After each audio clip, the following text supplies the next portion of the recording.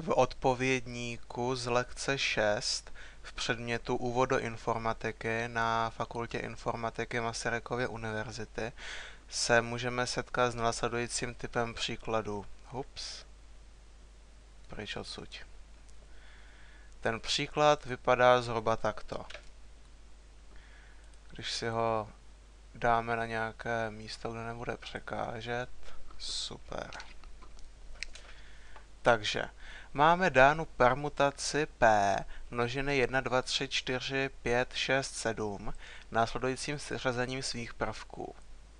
1, 5, 2, 4, 7, 3, 6. A máme odpovědět, z kolika různých cyklů se permutace P skládá a máme vypsat ve správném cyklickém pořadí prvků ten cyklus permutace P, který obsahuje prvek 4. Takže začneme pěkně od začátku. Nejdřív musíme vyřešit, co znamená tady toto. Co znamená tenhle zápis permutace. No znamená to tohle. První prvek z množiny se nám zobrazí na první prvek tady. Takže jednička se zobrazí na jedničku. Dvojka se zobrazí na pětku, tedy druhý prvek, tady se zobrazí na druhý prvek tady.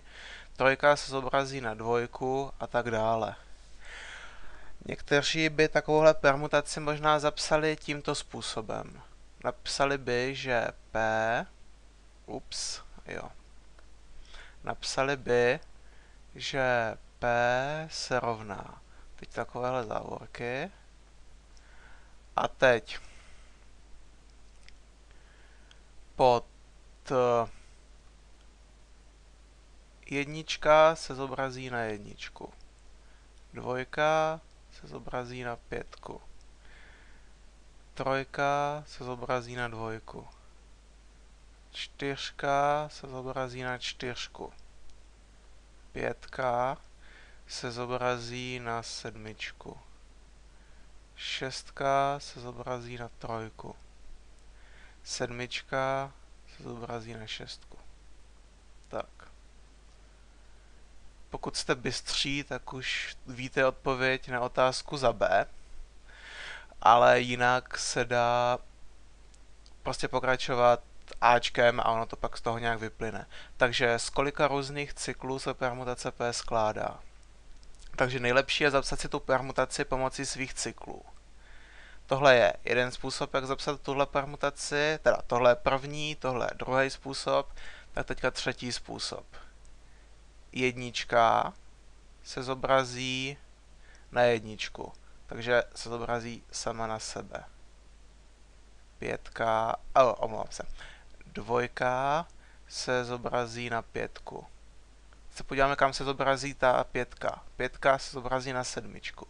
Pětka se zobrazí na sedmičku.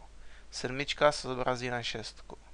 Sedmička se zobrazí na šestku. Šestka se zobrazí na trojku. A trojka se zobrazí na dvojku. Takže tím se nám cyklus uzavřel.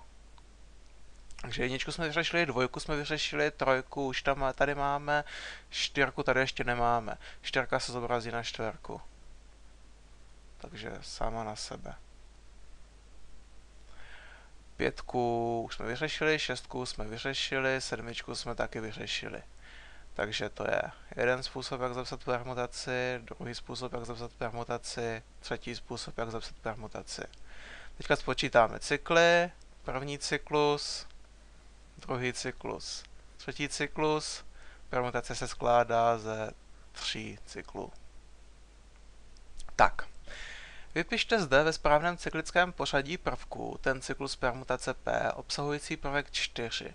Který cyklus obsahuje čtyřku? Tenhle cyklus. A jak vypadá? Prostě 4. Takže bude cyklus, že to má být nějaká uspořádaná jednice, takže do kulatých závorek čtyři. A jsme hotoví. Tak. Ještě jeden příklad. Další příklad zase z odpovědníku vypadá takto.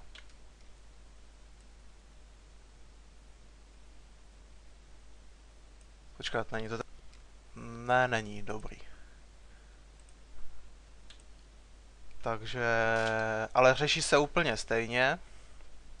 Takže tady máme jeden způsob, jak se zapíše permutace. A ještě bych mohl změnit barvu, ať je trochu sranda. Tady máme druhý způsob, jak se zapíše permutace. To zase napíšu, takže permutace P je vlastně zobrazení, které jedničku zobrazí na dvojku až 7, tak si to předepíšu 1, 2, 3, 4, 5, 6, 7, další závorku.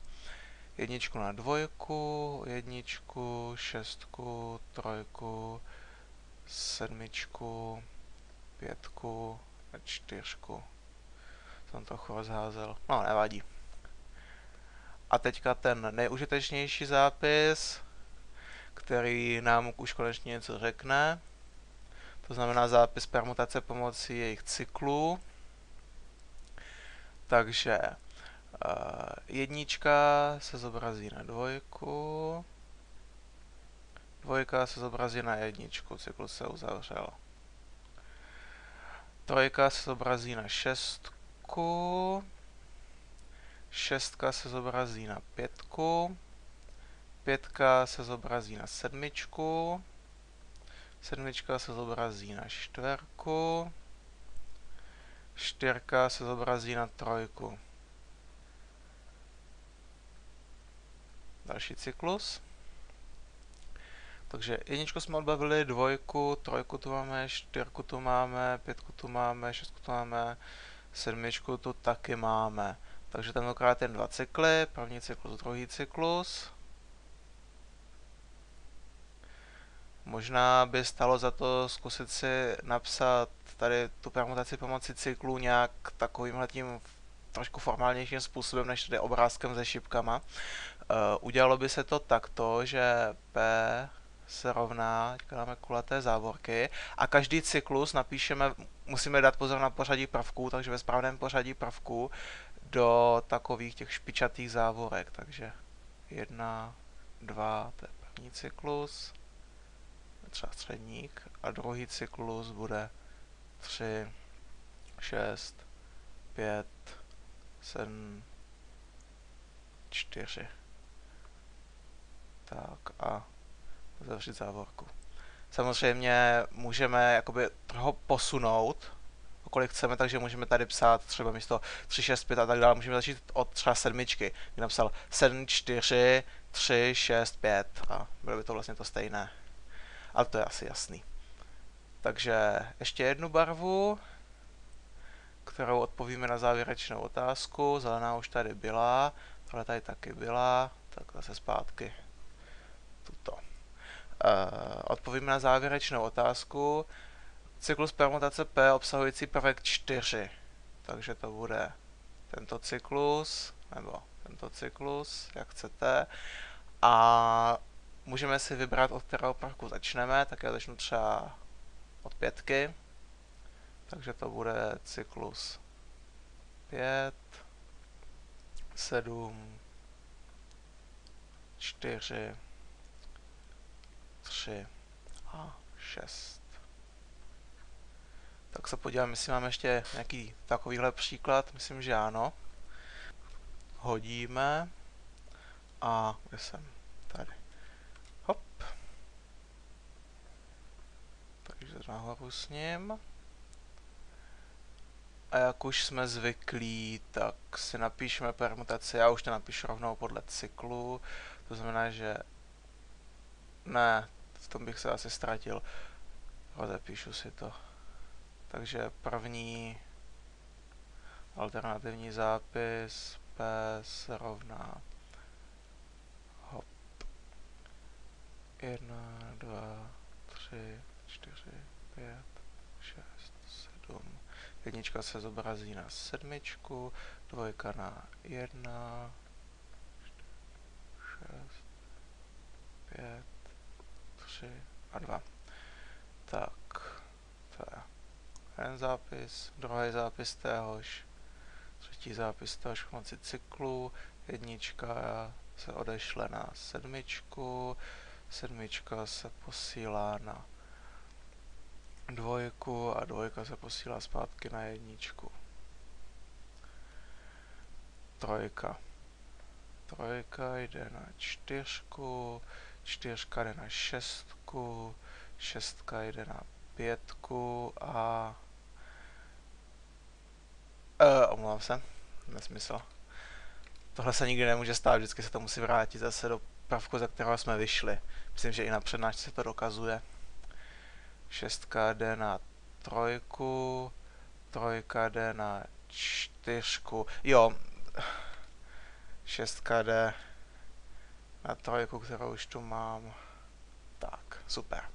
Všechno v pořádku. Uh, jedničku tu máme, dvojku, trojku, čtyřku, pětku, šestku, sedmička je taky odbavená, takže dneska to budou zase dva cykly.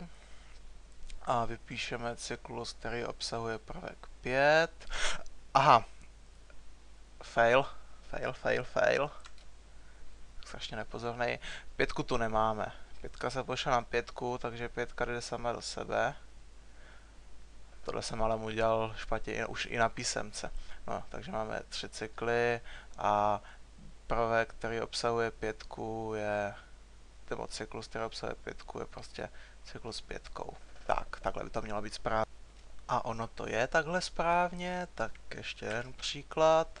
V každém odpovědníku jsou dva takovýhle, já jsem otevřel dva odpovědníky, to znamená celkem čtyři příklady, takže tenhle je poslední. Ups. Fail. Druhý pokus. Tak už to zůstalo. A chtěla by to nějakou lepší barvu. Tady nemám žádnou hezkou žlutou. Takovouhle zkusíme. Tak žlutou. Hezká permutace, tak si napíšeme ještě nějak jinak, že P se rovná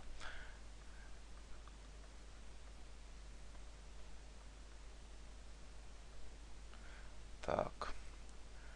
Jednička jde na čtyřku, sedmičku, pětku, trojku, jedna, šest, dva. Tak.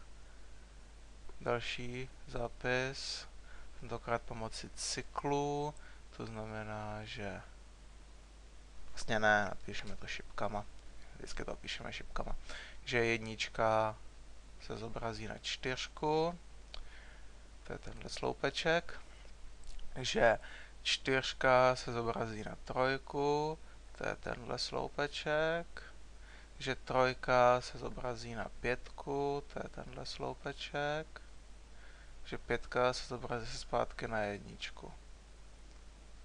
To byl tenhle. A teďka odbavíme dvojku, že dvojka jde na sedmičku a sedmička jde zase zpátky na dvojku, dáme šipku nahoru pro změnu, takže tyhle vyřešený a šestka se zobrazí na sebe sama. To znamená první cyklus, druhý cyklus, třetí cyklus. Permutace se skládá ze tří cyklů. Teď vypíšeme ten cyklus permutace, který obsahuje prvek 6, a to je cyklus třetí, který zahrnuje jen šestku, to znamená a šestku. To je šestka. Díky za pozornost.